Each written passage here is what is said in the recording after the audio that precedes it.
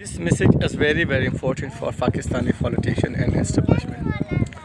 चूँकि इस वक्त मैं लंकावी, जो मलेशिया के एक खूबसूरत तरीन आइसलैंड है, वहाँ पे मैं तीन दिन के हॉलीडेज़ पे आया हूँ, जो कि आज बिल्कुल टॉप पे आया हूँ, मौजूद हूँ यहाँ पे मेरे जहन में एक बहुत ज़बरदस्त ख्याल आया कि क्यों ना मैं इस ख्याल को, इस सोच को अपने पाकिस्तानी भाइयों के साथ शेयर करूँ ख्याल ये है कि हमारे पाकिस्तानी जितनी भी आवाम है, सबसे मैं ये सुन रहा हूँ कि मलेशिया पाकिस्तान के बाद आज़ाद हुआ है।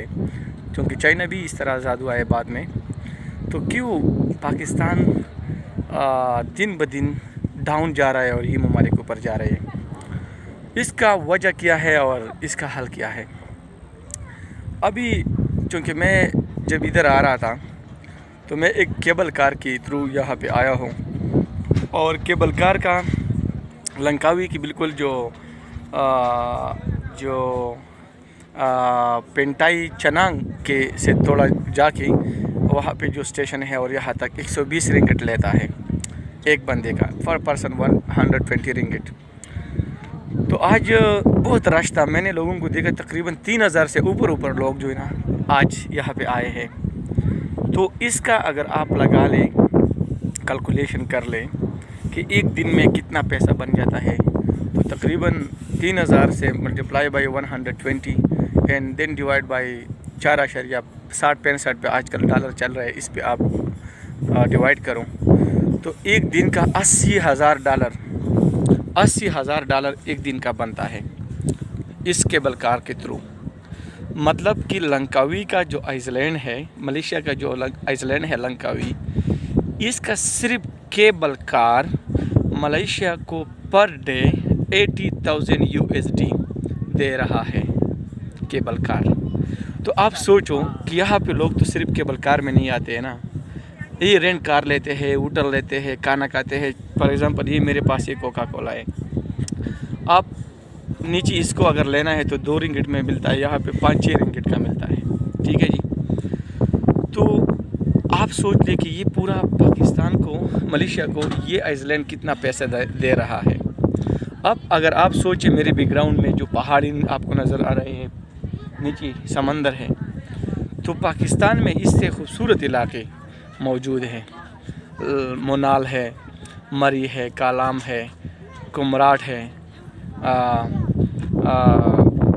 कागान नारान है। ऐसी जगह जो बहुत खूबसूरत है as compare to Langkawi in Malaysia other cities तो कहने का मतलब ये था कि अगर पाकिस्तान ये सोच रहा है कि हम आईएमएफ के कर्जदार हैं आईएमएफ से तो तुम लोगों ने बहुत ज़्यादा पैसा लिया है। मेरा ये पैगाम है कि मुझे पाकिस्तान में पीस चाहिए। आप पीस क्रिएट करो।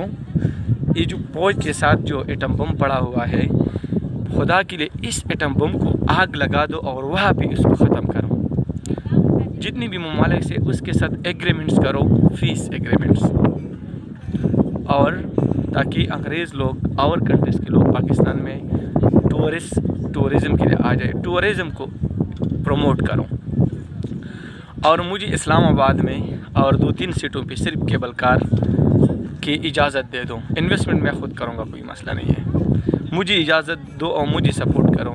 सिर्फ़ और सिर्फ़ केबल कार से जो पाकिस्तान पे आजकल मेरे ख्याल में एक सौ चालीस बिलियन यूएसडी जो कि आपके चौदह हज़ार मिलियन यूएसडी बनता है।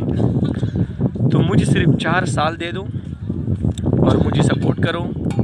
मुझे केबल कार की फैसिलिटीज़ दो, लेकिन बशर्त ये कि आपके मुल्क में फ़ीस होता कि लोग आए। हम इन लोगों के जो बाहर कंट्रीज़ के लोग आते हैं, इसको अगर ये फैसिलिटी दे दे, वो हमें पैसा दे सकता है। पाकिस्तानियों को मतलब अगर हम, देखो, इस केबल कार मतलब अगर आप इस्लामाबाद की फैसल मस्जिद से ऊपर मुनाल तक जाना चाहते हो केबल कार में तो मेरे ख्याल में आठ नौ हज़ार पाकिस्तानी बन जाता है यहाँ पे जब अगर हम पे कर रहे हैं। तो दस हज़ार तो कोई भी पाकिस्तानी देने के लिए तैयार नहीं है, आम शहरी। तो इसलिए मैं कह रहा हूँ कि मतलब वहाँ पे फ़ीस क्रिएट करूँ। ताकि हम इस चीज़ को आगे प्रमोट करें और मुझे चार साल दे दूँ। मैं आपको पाकिस्तान के ऊपर जितना भी आईएमएफ का कर्ज़ा है, मैं गारंटी के साथ ये बात कहता हूँ, मैं कोई झूठ नहीं बोल रहा हूँ, ना मज़ाक कर रहा हूँ। मैं आईएमएफ का पाकिस्तान के ऊपर जितना भी कर्ज़ा है ना, चौदह हज़ार मिलियन डॉलर, चार साल में ये मुझसे ले लो आप। ये आप मुझसे ले लो, मैं देने के लिए तैयार हूँ, मैं लिख के देता हूँ। अगर मैंने नहीं दिया तो आप लोगों की जो भी शर्त है, मुझे कबूल है। तो अगर मैं बहुत मामूली इंसान, आपको आई का कर्ज़ा ख़त्म करवा सकता हूँ तो पाकिस्तान में कितने नौजवान, जो क्रिएटिव माइंडेड लोग हैं, जिसके पास आइडियाज़ हैं, वो क्या क्या नहीं कर सकते हैं? आपके पाकिस्तान बहुत ऊंचाइयों पे जा सकते हैं, हमारा पाकिस्तान बहुत ऊंचाइयों पे जा सकता है। बशर्त ये कि आप पीस क्रिएट करो एटम बम को निकालो आर्मी को इस चीज़ पे लगाओ कि आप बस गलियों में शाम के वक्त गलियों में घूमो कोई चोरी ना करे कोई डाका ना करे कोई सिटीज़न बाहर के मुल्क से आ, आ रहा है उनको कोई नुकसान ना पहुँचाए बल्कि आर्मी को या पुलिस को ये जवाब दो। और ये जितनी भी आप लोग आर्मी पे लगा रहे हैं और चीज़ों पे लगा रहे हैं इसको सिर्फ़ और सिर्फ़ टूरिज़म पे इन्वेस्ट करो। खुदा जाने आपका और हमारा मुल्क बहुत जल्दी तरक्की याफ्ती ममालकों के बिल्कुल टॉप लिस्ट में शामिल होगा। Wassalam.